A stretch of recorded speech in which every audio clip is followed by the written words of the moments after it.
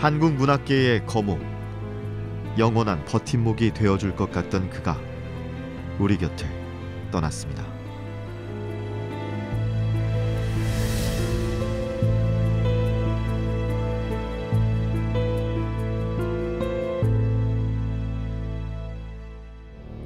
민주주의를 향한 열망으로 뜨거웠던 1960년.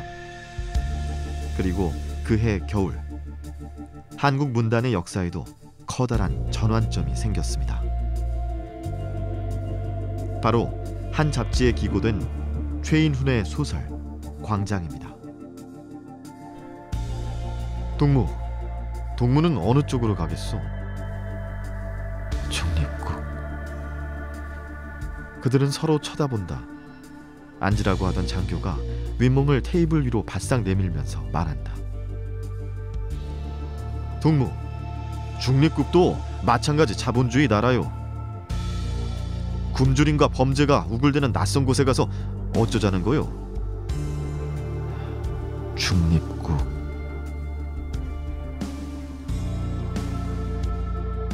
분단 이후 최초로 남북의 체제를 다룬 소설 광장은 남한의 척박한 이기주의를 광장이 없는 밀실로 북한의 전체주의를 밀실이 없는 광장에 비유하며 남과 북 어느 쪽도 선택할 수 없는 수많은 이명준을 대신해 바다에 투신하는 결말을 그렸습니다.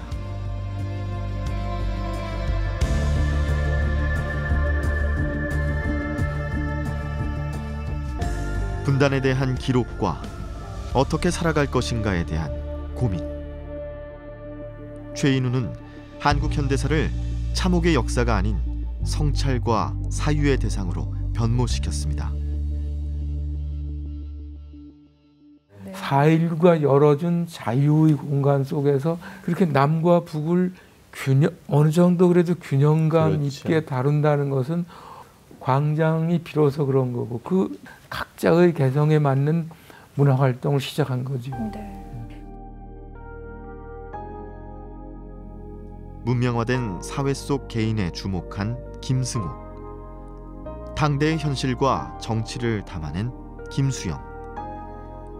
최인훈의 광장 이후 분단 문학을 비롯해 다양한 장르의 작품이 쏟아지며 새로운 비약기가 시작된 것입니다. 이후 올해도록 최인훈은 60년대를 대표하는 작가로 현실에 대한 문제 의식을 작품으로 이어갔습니다. 5.16 군사정변을 문제 삼은 장편 소설 구운몽 일본의 식민 지배가 계속되는 상황을 담아낸 연작 소설 총독의 소리 등 간결하면서도 함축적인 그의 언어는 수많은 희곡 작품을 통해 그래서 말로 되살아났습니다. 관념 소설을 정리하고 전통 설화를 재해석하는 등 현실과 예술을 한데 모으는 일에 평생을 매진했던 작가. 살아있는 지식인의 표상으로 삶과 소설이 분리되지 않는 삶을 이어온 그가 등단 60년이 되는 올해 우리 곁을 떠났습니다.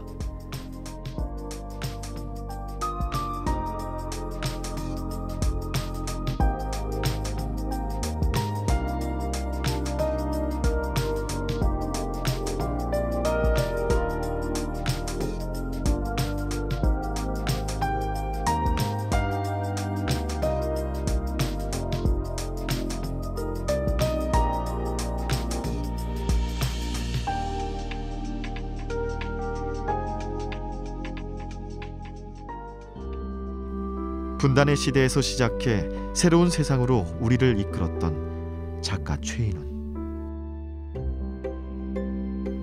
최근까지도 병상에서 한반도의 해빙 분위기를 지켜본 작가는 이런 이야기를 남겼습니다. 통일보다 재통일이 더 위대하다. 남북이 서로를 잡아먹을 듯했던 흐름을 거슬러 다시 통일이 된다면 참 위대한 일. 이제 풍랑 그친 바다를 보며 너른 광장에서 편히 쉬시길 빕니다.